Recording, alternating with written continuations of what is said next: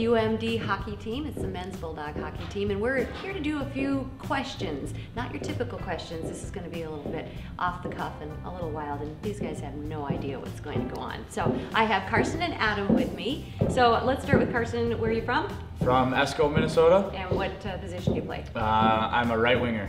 All right, and Adam? I'm from Hibbing, Minnesota. I'm a center. And we have local boys with us. Well, as I said, it's going to be a little bit different, and so what we're going to do is you only have to answer one question, unless I elaborate, but you have to pick it out of this bowl. So who wants to go first? I'll start us off. All right. All right, I get to ask. All right. All right, so the question is, oh, what's your pregame ritual? This one isn't that far off the cuff. Okay, pregame ritual. Um, nothing too crazy.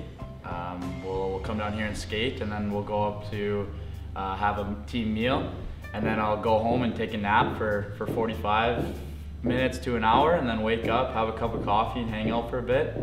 Come down here and uh, stretch out, and that's ready to go. Yeah, nothing too crazy. Now, you know coffee is a diuretic. Once you get all that stuff on, you know, Yeah, that's true. It hasn't Yeah. happened yet. Oh, it hasn't happened yet. All right, All right, well, we yeah. won't jinx you then. And so, um, when you say we go have a meal, so you go as a team, and where do you go? Yeah, yeah, we house, go restaurant? Uh, restaurant right, right in town here. Um, Oh, we all go up there and have some pasta and chicken, and then uh, everyone's kind of on their own until we meet back here um, before the game. So he grew up in Esko, and he says pasta. Where's that accent that from? bad? Yeah, well, I don't know. You got a little accent. I don't on, know, not not not very close to Canada, but All right. Well, you you got a pretty easy Yeah, one. Kind of bummed easy. because I know a person and I kind of wanted to give him a, Yeah, a nasty lucky. one. But all right, Adam, let's pull out a nasty one, shall get a we? good one. All right.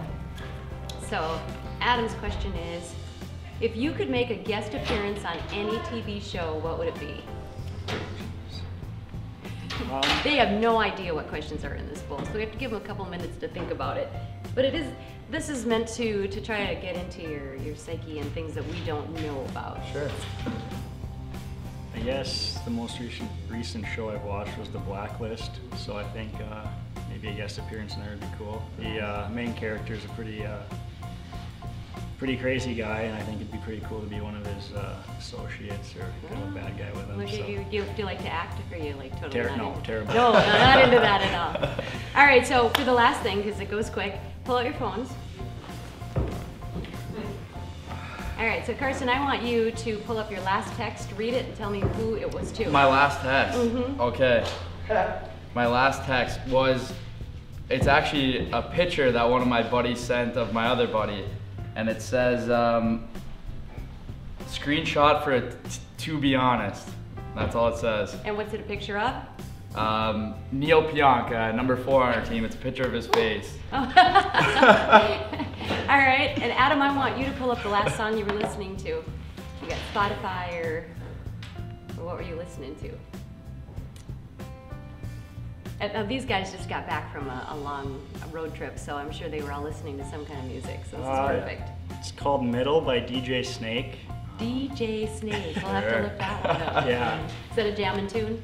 A little bit, yeah. All It's right. just kind of a chill techno. All right, well, you can chill to Willie Nelson too, but that's all right. So, all right, well, thanks guys. We appreciate your time. Awesome, yeah, thank you.